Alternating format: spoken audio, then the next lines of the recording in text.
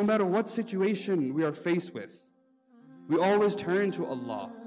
We always turn to Allah subhanahu wa ta'ala and we reflect, how am I supposed to respond in this situation? Am I going to complain? If a bad calamity falls, are we going to complain and cry and make a big noise about it? Or are we going to turn to Allah subhanahu wa ta'ala? Similarly, when good conditions come upon me, are we going to become lazy, forget Allah, leave our prayers because we're happy? No, we're going to make shukr to Allah subhanahu wa ta'ala in every situation. So the last few days in this country that we live in has not been very good for the Muslims. And the Muslims throughout the country, they feel very depressed, very down. They don't know what to do. They're scared. And rightfully so. They're scared because what is going on? In the past 72 hours, such Islamophobic incidents have taken place that causes fear in our hearts. Hate crime is on an all-time high for the Muslims. And this is a fact. More than 60 different incidents have taken place in the past 48 to 72 hours regarding the Muslims. Where sisters' hijabs are being pulled out. Where slurs are given to the Muslims that go back to your country. You don't belong here. How are Muslims supposed to react to this? This is a time of confusion. This is a time of scare. That we don't know what the future of Muslims in this country is going to be. And at times we cave in to our fears and we, we react in a manner which Allah subhanahu does not want us to react. And we have certain individuals that they let go of the religion. The Prophet sallallahu alaihi wasallam, when he was given the noble message that you are the final prophet and you must call mankind, you must call mankind towards the one Allah subhanahu wa ta'ala.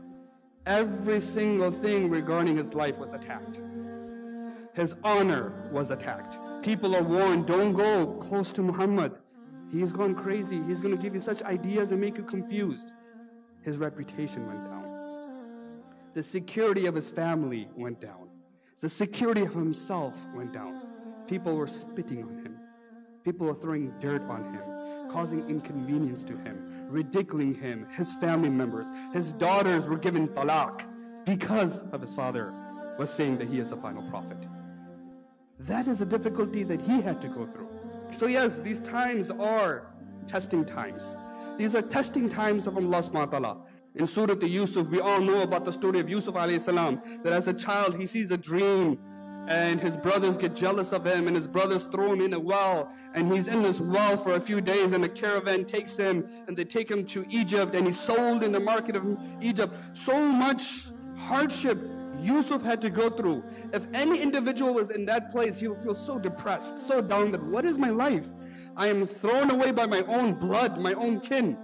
I'm thrown in a well, not knowing if I'm ever going to survive. Then I'm sold in the market as a slave. I am in an unknown land. A person's life at the time seems the ultimate low. And on top of that, then he is accused of adultery. He is innocent. He's accused of adultery. Due to that, he's thrown in jail. Negative after negativity after negativity. Look at all that. But what does Allah subhanahu wa ta'ala reply? There's one ayah, one small fragment of ayah in Surah Yusuf. That is the crux of the entire surah. Which Allah subhanahu wa ta'ala said, Allahu ghalibun ala amrihi, walakin akthar al-nas la ya'lamun. Allahu ghalibun ala amrihi. Allah is in power of his affairs. Allah is in charge of his affairs. However, majority of the people don't realize this. Everything is in control. Allah subhanahu wa ta'ala took all that negativity away and brought him all the way to the top. Yusuf alayhi salam from the bottom of a well, he comes and becomes the king of Misr. And as Muslims, we need to realize Allah subhanahu wa ta'ala is al-Hakim. He is wise. وَالْفِعْلُ الْحَكِيمُ لَا يَخْلُ عَنِ الْحِكْمَةِ That the actions of a wise person is never free from wisdom, it always has wisdom. Whatever Allah does, there's wisdom in it, whether we realize it or not. We might understand the wisdom, we might not understand the wisdom. Allah subhanahu wa ta'ala in the Quran says that perhaps, perhaps you hate a situation or you hate something and that is beneficial for you. And perhaps you love something, a situation or a thing or an issue, and that might be harmful for you. So there could be good in situations what we assume to be bad. And this is the system of Allah subhanahu wa ta'ala that He shows the world. That وَمَكَرُوا وَمَكَرَ اللَّهُ وَاللَّهُ خَيْرُ الْمَاكِرِينَ They plan, and Allah plans, and Allah is the best of planners. Mankind plans whatever they want to plan, but Allah also plans. And no one could overpower the plans of Allah subhanahu wa ta'ala. So if you go back a few years, go back 15 years or so, and when the 9-11 event happened, when certain individuals did a crime and the religion of Islam had to pay unjustly for their crime and they were blamed for their crime, crime. And the Muslims were prosecuted in America. Islamophobia was on a high at that time. People were afraid for their lives at that time.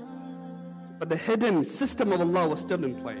The people that accept Islam after 9-11 was much more than people before 9-11. Islam came into the media. Islam came on the lips of people, into the ears of people. People became curious. Many non Muslims started to contact Muslims. They bought the Quran. They went to the masjids and they, and they inquired about Islam. And people accepted Islam on huge numbers because of the negativity that others planned for Islam. They planned to put Islam down. They plan to put Islam down. Allah wants Islam to always shine. And Islam shined throughout the country that in hordes people came into the fold of Islam. People came into the fold of Islam. Just to give an example that ever since this last year, a lot of negativity has come against Islam. But how many people have accepted Islam? And there have been documented cases that people have come out and say that I did not know about Islam, but because of this candidate, he spoke so ill of Islam, I wanted to inquire and I became a Muslim. And I became a Muslim. One woman who accepted Islam, she accepted Islam last year. She was not wearing the hijab, but after this election, she said, in January, I'm officially going to wear hijab every single day. This is the plan of Allah subhanahu wa ta'ala. So we might see the negativity in this, but we have to make the positivity out of this. This is a time for us to show what Islam really is. This is time for us to show who Muslims really are. This is not time to shy away from our Islam. We should not hide away and say, no, I'm not a Muslim, or don't, or don't ask me about my religion. Be proud of who you are. Show your Islam so people can recognize, no, these are the Muslims. These are the true Muslims. Whatever the media is saying, whatever the internet is saying, that is incorrect. I know Muslims. My neighbor is a Muslim. And he's the best of individuals. I know Muslims. My co-worker is a Muslim. And he's the best of individuals. Don't tell me what Islam is. I know what Islam is. And this will bring people closer to Islam.